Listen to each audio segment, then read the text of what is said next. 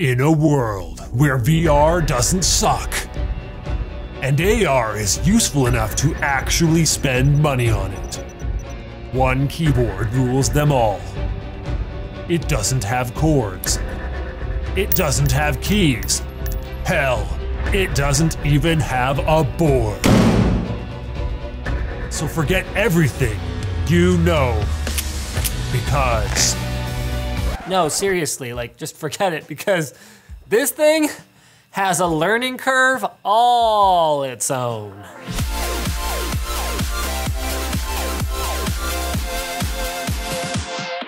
Cheddar is a post-cable network that focuses on innovative products, technologies, and services. Check out their YouTube channel below and stay tuned for more coming later in this video. Tap, the wearable keyboard, looks and feels totally like sci-fi when you first put it on, but it's actually very simple to use. Just take the strap out of its charging case, slide it over your five feelers, and press its one and only button to both turn it on and activate pairing mode. Your computer or your phone or whatever will simply see tap as an input device. But while you might think that it works by moving your hand in space across a virtual QWERTY, tap is not that type of keyboard. Rather than distinguishing characters based on your finger's locations, it works by assigning each letter or number its own unique gesture. You see, each of these rings has its own three-axis accelerometer, which communicates with the thumb unit via a thin wire hidden within the strap's fitting cable. Tap registers keystrokes by measuring the deceleration of your fingers as they come in contact with the surface, which means A, you do have to type on something and not in the air, and B, while you can use soft surfaces like the couch or a friend's leg, hard and flat surfaces work best, especially while you're learning. So what's cool is you never have to look at your hand while you're typing, something that even the most experienced touch typists have to do from time to time. With the drawback being that you have to learn more than a handful of uh, these tap gestures. The most common letters, vowels, use the simplest gestures, single taps, while the most common consonants use two finger pairs.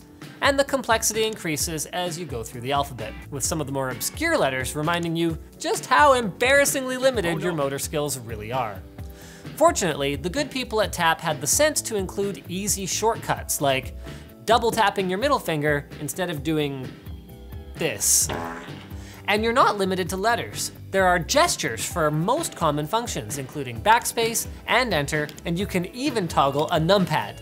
But having experienced a range of, let's call them alternative keyboard layouts in the past, we know that sometimes, no matter how great it is, the effort involved in learning to use a new board just isn't worth it. So how does TAP compare? Eh, actually it's less horrible than you'd think. The team worked with neuroscientists at Stanford to design a training app that gradually introduces and then drills the gestures into your muscle memory. They even incorporated catchy little jingles to help you remember certain letter groups, and the thing really works. James was able to learn the alphabet and start, slowly, typing in about two hours, with most people apparently reaching 30 to 40 words per minute in about five. Now, one weird thing is that once you learn the gestures on one hand, you actually don't need to relearn them for the other hand. It is oddly easy to switch, which Tap lets you do in the helpful, but not actually necessary companion app, Tap Manager. And there's more.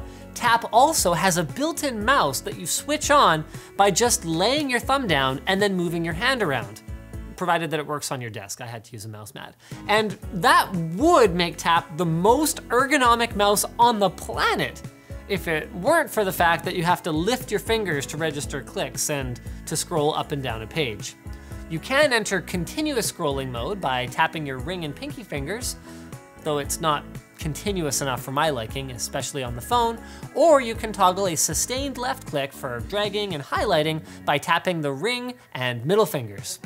The best part is that there's very little latency in switching from keyboard to mouse, which is critical because you need to lift your hand off the surface once you run out of mouse pad.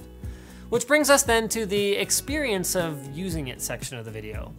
Unlike the Myo Gesture armband thing from a while ago, tap can be reliably turned off and on as you switch tasks throughout the day. So if you're cleaning up, you don't have to worry about it registering a bunch of keystrokes as you touch something. Then, when you're ready to type again, the strap is actually pretty good at registering the strokes that you intend to type, as long as you do a good job of typing them.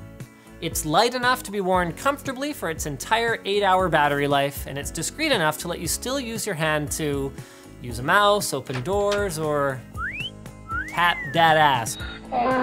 But just because tap is pretty darn good for what it is doesn't mean that I'm recommending that you rush out and buy it. Considering that you're not gonna be faster using tap, the use cases that are compelling enough to spend $180 on one of these are pretty niche, at least for now. However, in a few years when we have, you know, I don't know, uh, standalone AR glasses and Tap has managed to push the price down to maybe 40 to 50 bucks, I could see a device like this in or on a lot more people's hands. Cheddar TV has a wide variety of different segments, and over on their YouTube channel, you will find a ton of topics. One of them is called Cheddar Explains, where they take a particular topic and, well, they explain it. You can check out Cheddar's video on cord cutting and traditional media at the link below. They go through and discuss the cable industry, how it's changed over the past 15 to 20 years, and how they're trying to adapt. So have a look at that video and the rest of their content again through the link below. So thanks for watching guys. If this video sucked, you know what to do, but if it was awesome, get subscribed, hit that like button, or check out the link to where to buy the stuff we featured in the video description. Also linked down there is our merch store, which has cool shirts like this one, and our community forum, which you should totally join. Something even the most experienced touch typists have to do. Something, Dennis, you missed.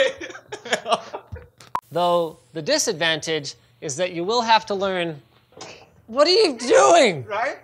You do, what is this? What? What? Oh.